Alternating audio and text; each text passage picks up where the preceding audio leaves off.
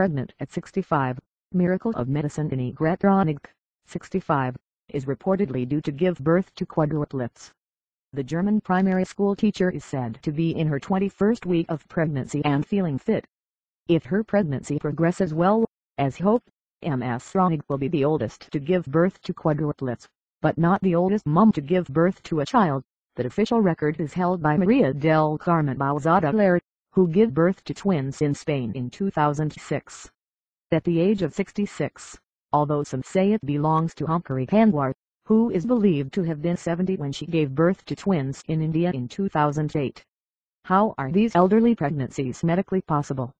Donor eggs Women who have gone through the menopause will not be able to get pregnant without help. They will need to use eggs from a donor, or a frozen stash of their own eggs, to be able to conceive. For women, fertility declines with age, and this is fairly rapid after the age of 35, although it will vary for the individual. It's all down to eggs. Girls are born with all of the eggs they will ever have, and after puberty they begin to lose them as they menstruate. By the age of about 40, a woman's supply of good quality eggs will be dwindling. Hormones before the fertilized donor egg can be used, doctors will need to make sure the woman's womb is ready to receive and nurture it.